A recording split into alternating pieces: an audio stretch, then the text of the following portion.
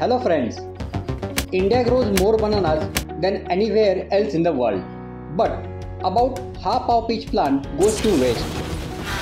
One What? company is turning that waste into biodegradable sanitary pads that could help more people have safer periods. With- With disposable plastic pads on the rise, can banana stem save the country from mountains of trash? For that, we visited Sathi to see how it is using worldwide waste. When Sathi started out in 2015, only about a third of women in India had access to pads. And that can mean more than just discomfort. Oh, Go or work for those five days every month, and that sets you back. I was proud to be an Indian, but I also was ashamed that we cannot provide something of basic necessity. Tarun Bothra and Kristin Kagetsu set out to help without creating more plastic trash and they found the answer in farm waste. According to Sathi, just one banana plant stem can yield up to 3000 pads. The stalks only bear fruit once. So, after each harvest, farmers clear the fields to make room for the new growth. Chirag Desai is a researcher looking for new ways to use these leftovers. The farmers are dumping it on the roadside or canal side and it will create a huge environmental as well as social problems. His team has turned banana plant fibers into fertilizer, fabric, and even candy. The market is growing for such type of natural products. He shares some of his knowledge with Sathi's founders. They stay here for one week. We give them a good training, basics, how to extract the fibers and all that. The first step is to cut the stalks into half. Worker pulls the halves apart layer by layer. They feed these cellular-like chunks into machines that leave just stringy fibers behind. Workers wash the fibers and dry them on a line. Then they are ready for second life.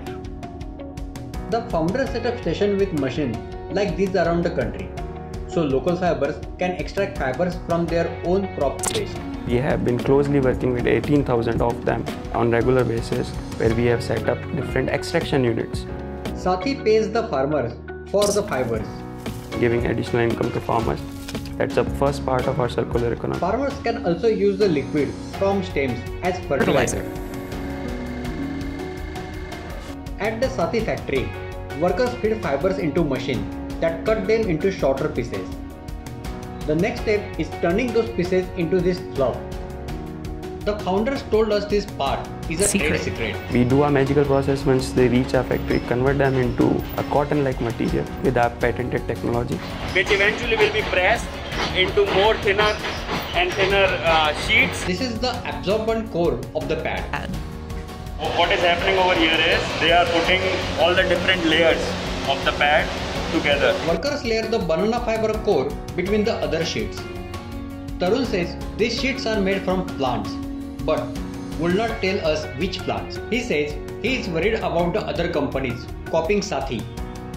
After the pads are cut to size, he tests some out from each batch using water mix with ink. And the good part is that it is spreading. Instead of staying here, leaking out of here, the material throughout the length is utilized. Sathi says the adhesive on the back of the pads is non-toxic, but will not say exactly what is in it either. The pads are ready to be sanitized using light. What we use over here is a UVC light which sterilize or uh, reduce any kind of viral load. Finally, workers package the pads. So there is not much of a rocket science over here. It's simple packing. They wrap each one in yet another secret plant based material and seal the packets with heat. The founders say the pads and all packaging are 100% biodegradable and they send their products to a lab that confirm this. This is a packaging made out of hygiene paper with no plastic coating on it. Roll it up. Use the same tape to stick it and throw it as it is. Conventional pads are made mostly of plastic. If all the menstruating women in India use them, it will create an amount of trash 10 times the waste of the Great Pacific Garbage Patch every year. Sathi says if buried, its pad will break down in under 6 months. If they are left out in the open, it is more like 18 months. Before disposable pads were invented, people often used cloth, dried plants, or whatever absorbent things they could find. I would not say that these are always unhygienic methods of menstruation, but what makes it hygienic or unhygienic is whether the material is clean, how long it is used for. Many in India still use the cloth for their periods, which can cause infections if it is not washed and dried frequently. Sathi sells its pads in pharmacies, at specialty stores, and online. And for each pad, the company sale it gives one way For for, free. free. We take it from people who have enough and give it to those who need.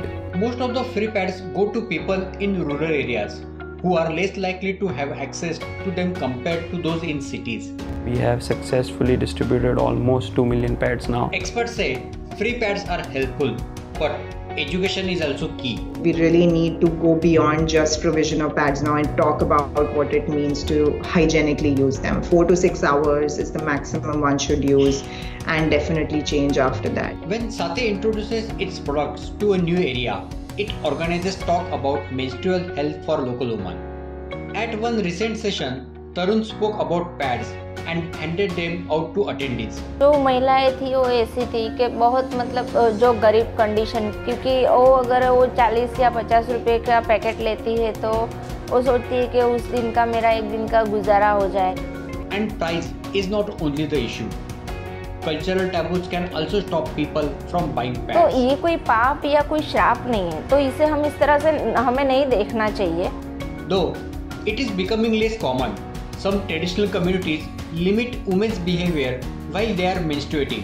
पहले जैसे गाँव में भी लोग period आता था तो पाँच पाँच दिन घर के बाहर बिठाते थे अलग से उसका खाने की थाली सब अलग होता और सिटी में भी बहुत से लोग करते थे जो जूने रीति रिवाज को अभी भी वो कर रहे हैं वो लोग बहुत करते थे Alka ben has worked at Sati for about 5 years. In that time, she is seen attitudes towards pad shape. तब हम लोग गए थे ना सातिश गाँव में तो पहले कोई नहीं लेता था। अभी तो सब लोग ले रहे हैं। अभी तो वो दिक्कत नहीं है। She is able to support her family with her earnings. पगार आता है ना तो खुशी होती है कि वो कर सकेंगे वो कर सकेंगे वो ला सकेंगे। ऐसी खुशी होती है पगार आता है ना तो किसी के पास मांगना नहीं पड़ता है। Over the last 10 years, access to pads in India has risen dramatically. Art, activism, and government programs are making it easier to talk about periods. तो वहाँ पे अभी गवर्नमेंट भी फोकस कर रही है कि लोग सैनिटाइजर पेड यूज़ करें बहुत सारा अवेयरनेस अभी होने लगा है but about one in four women in India still don't have sanitary period supplies that is tens of millions of people but sing how things have already change keeps the founders going. A lot of women are having safe periods. The environment is not being polluted with plastic. The biggest service one can do is leave a greater legacy, a better world for generations to come. What's better than that? That's all about my today's video. Let me know your thoughts in the comments. And if you are watching my video for the first time, then make sure to follow or subscribe. I will see you guys again very very soon. Till that, take care, bye bye, and thanks a lot.